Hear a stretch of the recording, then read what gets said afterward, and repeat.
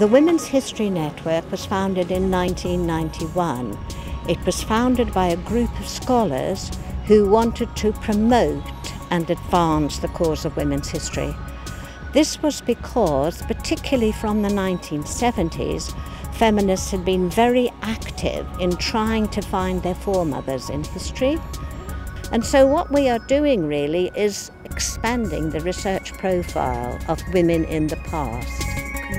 Relatively prosperous background, but when they were exhibited, um, the interesting. So obviously, I work in Ireland, and part of that is looking at Irish women, but it's only a part of my research. More broadly, it's looking at display and representation and empire, and I think looking at something as specific as gender or as broad as gender really brings together a huge kind of range of people. I'm really looking forward to getting to know everyone. But I was so fascinated by the play that I looked that I read about the playwright and then I saw a reference to the playwright being part of the suffrage drama movement and I thought what's that okay um, and so that piqued my interest, and I just it was like following a trail of breadcrumbs that somebody left for you.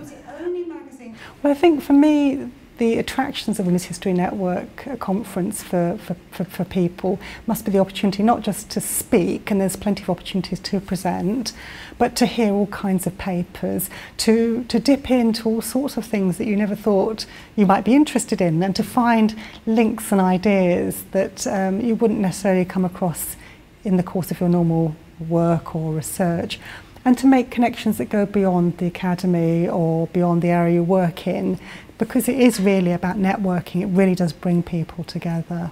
So it's nice to get a chance to hear people who've really involved in research aspects of their project and especially PhD students who are kind of totally immersed in it and coming up with really exciting new topics. Lots of really stimulating uh, papers going on and also a really nice mix of both academic papers and also a lot of community history going on which is always really really good to hear. I think the the quality of the papers the fact that we've got younger scholars getting involved in this area of history of women, young women becoming historians. You need to think of both of those aspects. And I think it shows that the field is alive and kicking, let's say. I've always found women's history conferences to be a very, very supportive environment, and I think particularly maybe for early career scholars or postgraduates, that can be very valuable. I give conferences in, I do conferences in Spain as well, and my Spanish is nothing like as fluent as my English. And again, I've always found that it's the women's history conferences that have provided a really supportive and encouraging um, environment in which you can explore some ideas and exchange ideas with other people.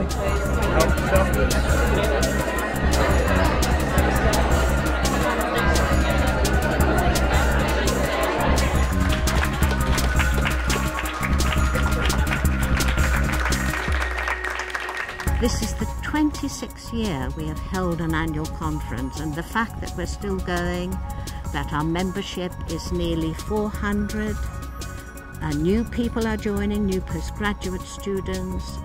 Some of us are retiring, but the activity still goes on.